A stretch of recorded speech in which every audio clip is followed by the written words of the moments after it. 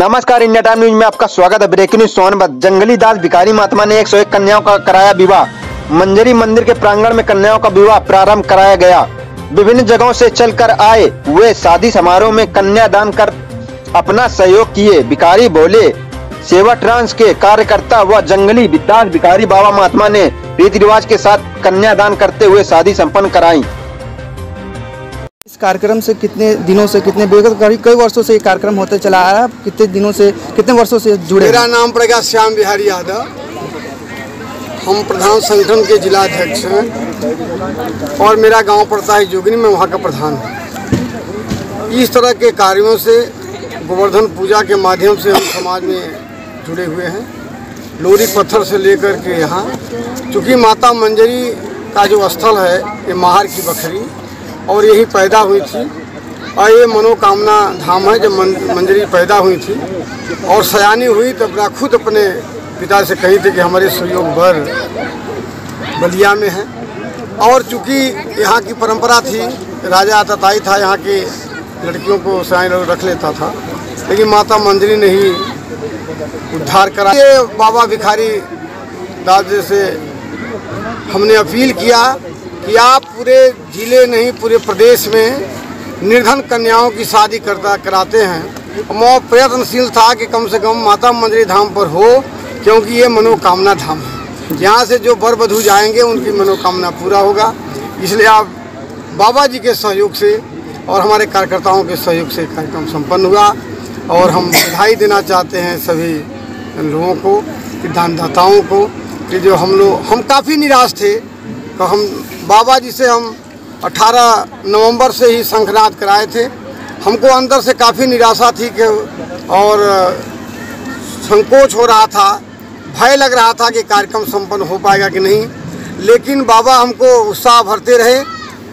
भिखारी दास बाबा, कि आप तनिक भी घबराइए नहीं, ये कार्यक्रम बहुत अच्छे ढंग से संपन्न हुआ। आज आप लोगों ने देखा ये पुनीत कार्य में सभी लोगों ने भाग लिया और ये मनोकामना धाम है।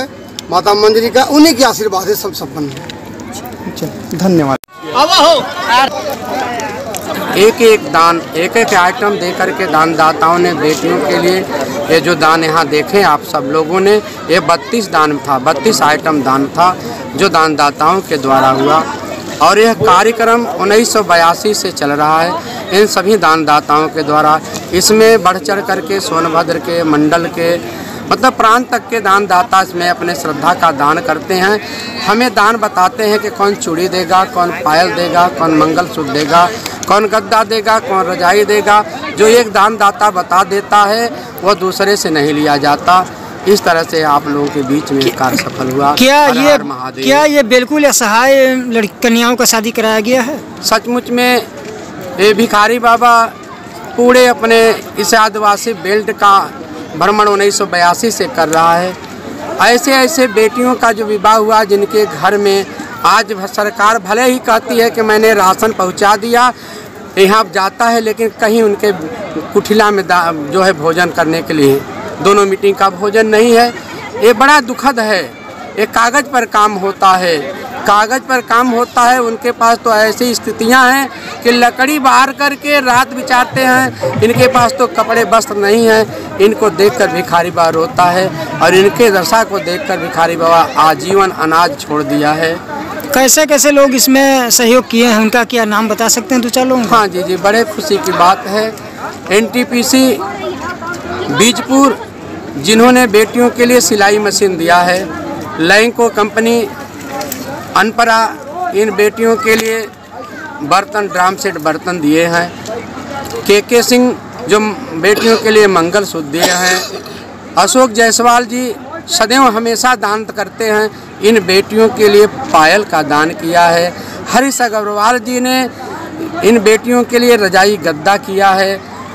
तारकेश्वर केसरी जी ने बेटियों के लिए हर साल की भांति इस साल बेटियों के लिए नथुनी सोने का किया है। और बिछिया का दान सुभाष अग्रवाल जी सदैव 2005 से करते आ रहे हैं। आज भी उन्होंने बेटियों के लिए बिछिया का दान किया है। साड़ी साड़ी साड़ी एक एक दानदाताओं ने किया है। ऐसे ऐसे कुछ दानदाता हैं जो दीनदयाल केसरी जी ने, मैं आ रहा था दौड़ करके उनकी धर्मपत्नी मालती जी ने कहा, बाबा, एक बार सुनिए तो। हम खड़े हो गए कि बहन क्या कह रही हैं। उन्होंने कहा कि, बाबा, जो चुनरी बेटियाँ पहन करके मंडप में पेटीकोट, ब्लाउज पहन करके जाती हैं, वो मुझे दे दीजिए। हम जब तक इस धरा पर रहूँगा, तब तक आपको देता रहूँगा। सचमुच में वो जो बेटियाँ एक परिधान में बैठी थी वह दीनदयाल केसरी जी के द्वारा हुआ है। ऐसे ऐसे दाता हैं जो कलश है आप लोगों ने देखा है। ये संतोष जी पटेल हैं, जो सगुन टेंट है। टेंट का दुकान है, लेकिन दुकान से मतलब नहीं, इतने बड़े श्रद्धावान हैं। बाबा हमसे दान नहीं लेंगे। हमने कहा, आप दान दे दीजिए। कहें, क्या दे दे? हमने कहा, कलश दे दीजिए। तो एक कलश दिया गया। तो ऐसे ऐसे दान दाता हैं। बक्से का दान अलौकिक दान दाता हैं। उसमें दो, चार लोगों का दान है, जो आज बक्सा दिया गया। इस तरह से दान की प्रक्रिया चलती है।